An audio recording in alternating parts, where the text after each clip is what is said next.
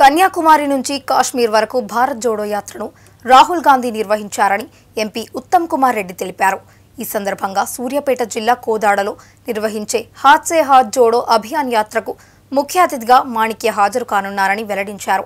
ఈ కార్యక్రమంలో కాంగ్రెస్ నాయకులు కార్యకర్తలు పాల్గొని విజయవంతం చేయాలని పిలుపునిచ్చారు.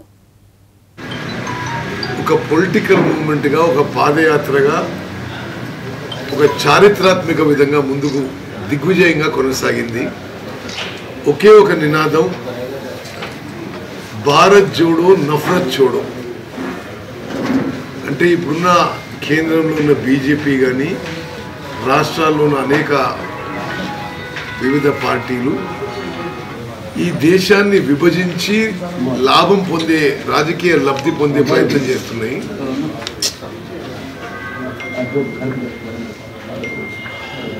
అది అట్లా కాకుండా దేశం సమగ్రత సమైక్యతకి ఉండాలి. మతాలు కులాలు వర్గాలకు అతీతంగా ముందుకు పోవాలని చెప్పి రాహుల్ గాంధీ గారి పాదయాత్ర దిగ్విజయంగా కొనసాగింది. అదేవిధంగా పెరుగుతున్న ధరలు నిరుద్యోగ సమస్య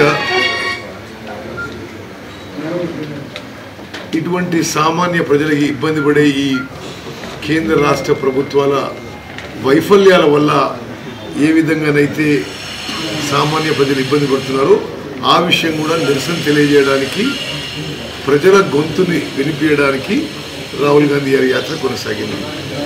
దానికి అనుగుణంగా దానికి ఫాలో అప్ యాక్షన్గా హాత్ సే హాత్ జోడో అభియాన్ అని